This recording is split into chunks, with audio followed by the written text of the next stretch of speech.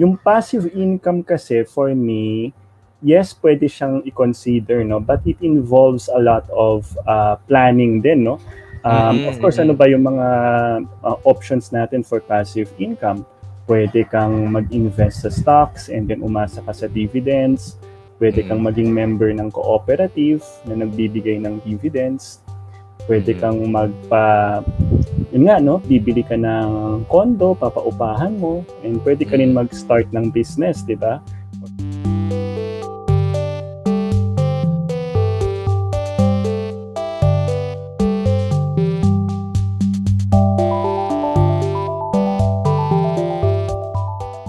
Hello mga ka-Arky, kamusta kayo? Hello Marion, kamusta ka?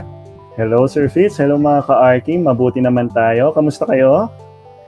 Yan, ayos din naman ako and I hope yung mga ka-Arky natin ay nasa mabuting kalagayan. And welcome sa isa na namang pre-recorded video dito sa ating channel. And for today, ano bang uh, pag-uusapan natin Marion? Sabi mo meron kang itatanong sa akin? May kukonsulta ka ba sa akin?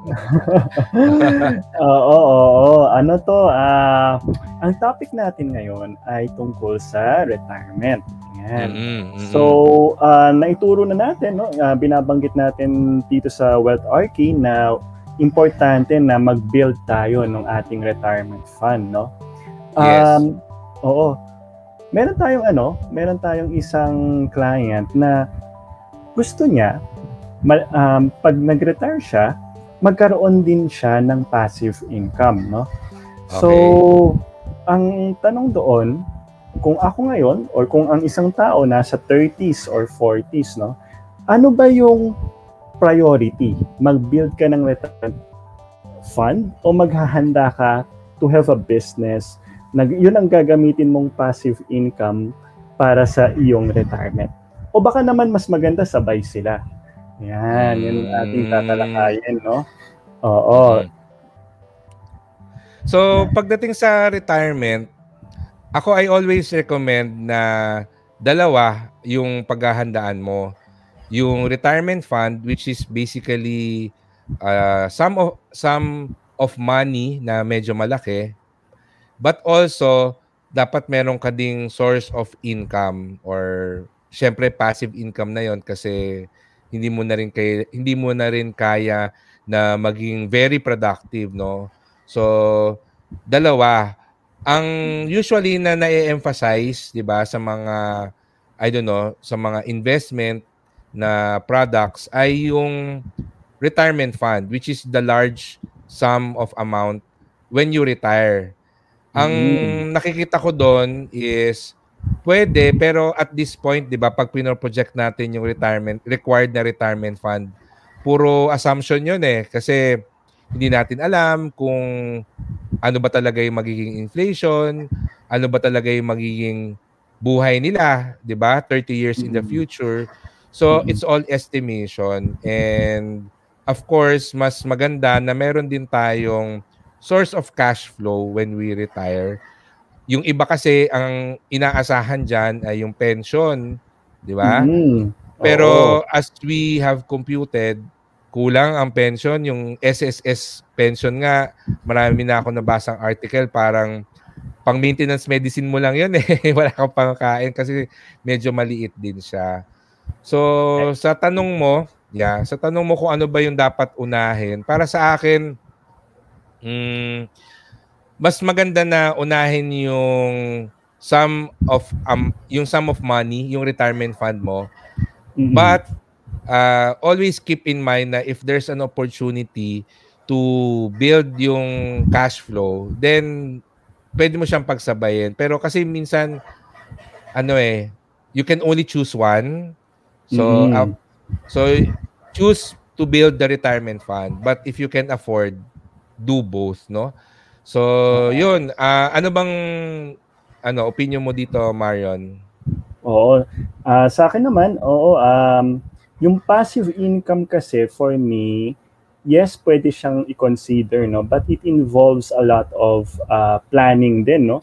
Um, mm-hmm. Of course, ano ba yung mga uh, options natin for passive income?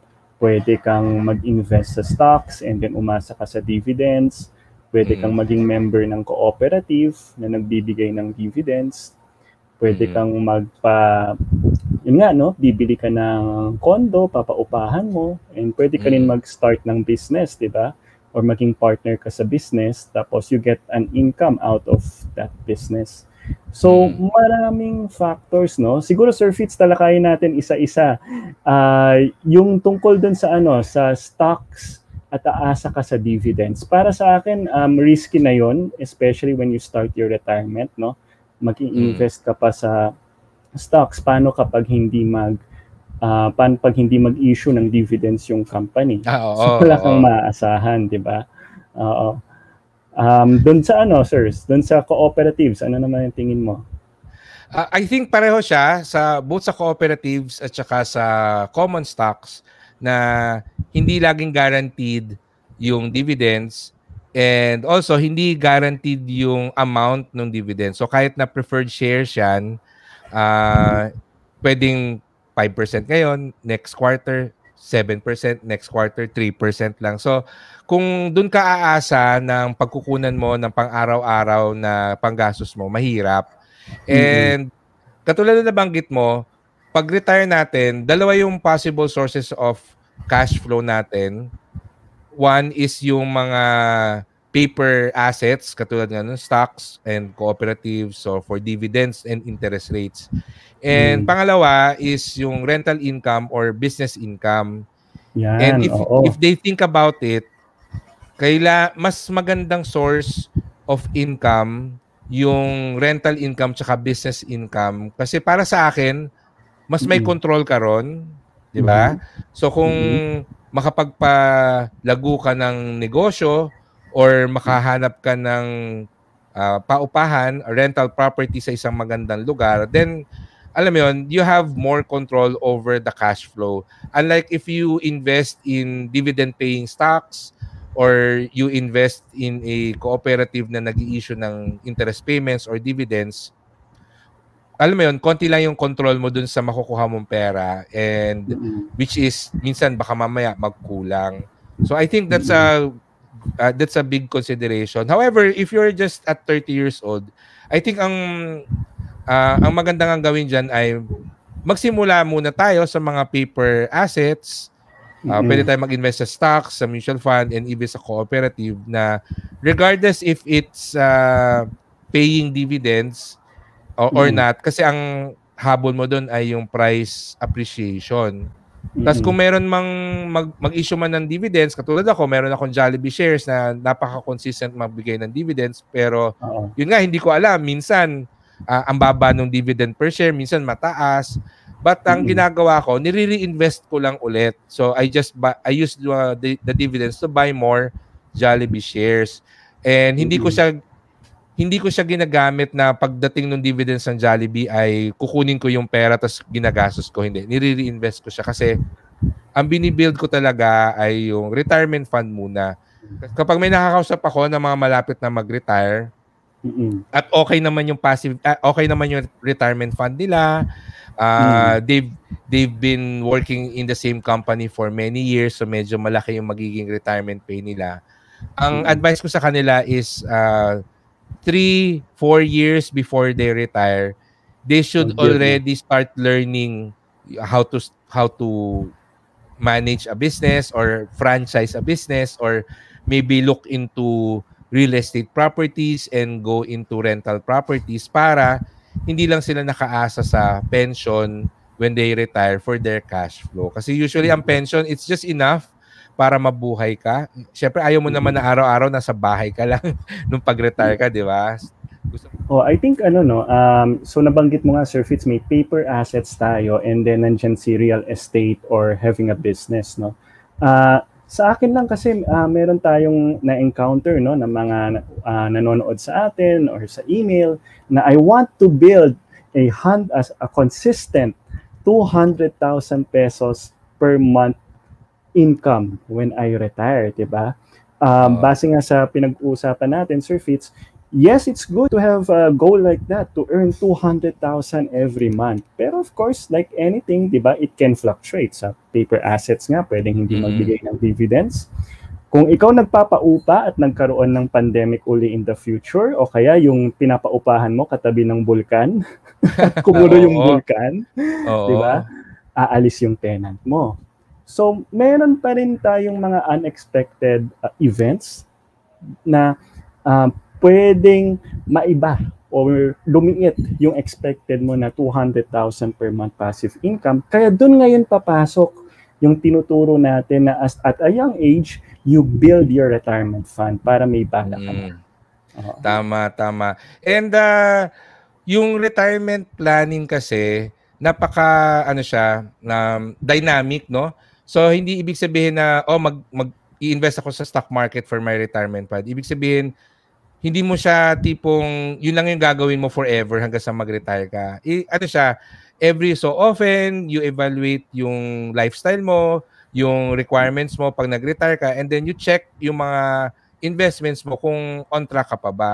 So hindi siya set and forget until retirement. So mm-hmm. kailangan talaga uh, minomonitor, chine-check, you evaluate and then you do some ano some adjustments along the way para again both are important. Yung retirement fund yung sum of money that you have when you retire. And then number two is a source of income or cash flow upon retirement other than your pension. So yun yung dalawang uh, kailangan nilang i-prepare no pag sinabing preparing for your retirement hindi lang yung retirement fund ang iisipin mo hindi lang din yung source of income yung iisipin mo dapat sabay mo silang tinitimpla no so there's no mm-hmm. one formula for that but it's important that you consider both tama yung sabi mo, Sir Fitz, no? para kang nagtitimpla. No? Importante yung dalawa, pero kung sakali man na pipili ka ng isa, unahin muna natin yung ating retirement plan, yung retirement fund natin. Mm-hmm. And of course, no, um, as you go nearer to your retirement age, maganda na may kausap tayo no na uh, someone professional who will help you assess your situation. At doon na papasok yung mga financial planners tulad natin dito sa Wealth RK, di ba? We can help them sa pag-build ng retirement plan nila and also to assess kung kaya nilang magkaroon ng passive income. Or kung may plano silang business, pwede rin nilang ipakonsult sa atin para mag-guide natin sila. So, the earlier that you plan for retirement, the better. And of course, we are here to help you, to guide you and create your financial plan. So, yun. Ako, maraming yun, salamat, oo. Marion, sa pagsama sa akin dito sa video. So, sa mga ka-arki natin, please give this video a thumbs up and share it to your friends.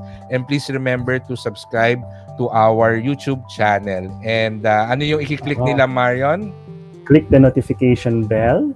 Ayan, so that you will not miss a thing. Ayan. Yes, so maraming salamat mga ka sa panonood. Kita-kita ulit tayo sa susunod na video at sa next na live stream natin.